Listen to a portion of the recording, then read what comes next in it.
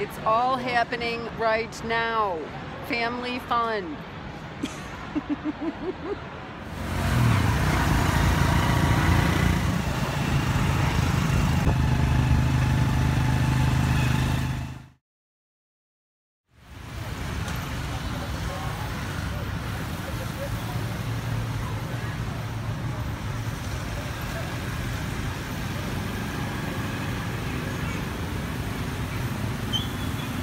Beautiful downtown Phnom Penh.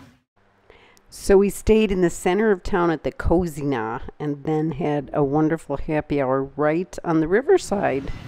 And then it was morning.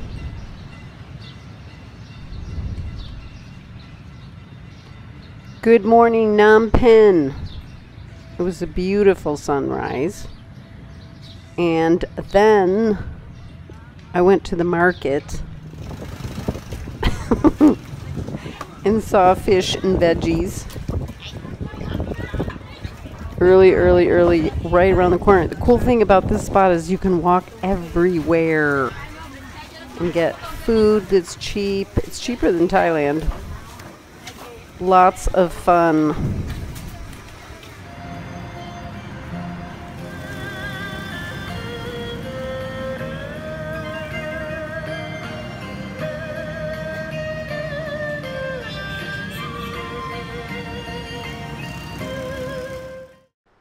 And then my absolute favorite, Otres Beach. Yay! I hadn't been in five years, so I was quite excited to get back to the ocean in Cambodia, in the south. There's dirt roads, and it's quite wonderful.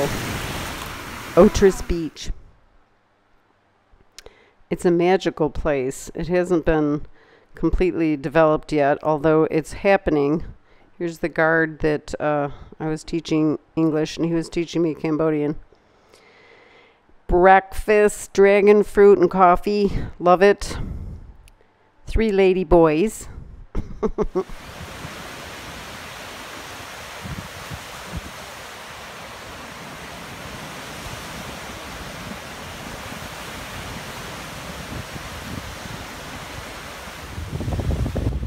Absolutely killer sunsets. Oh my god. Purple, fuchsia, orange, everything. Ecstasy. I'm pretty excited to have pizza. oh, we're going Hollywood. Action.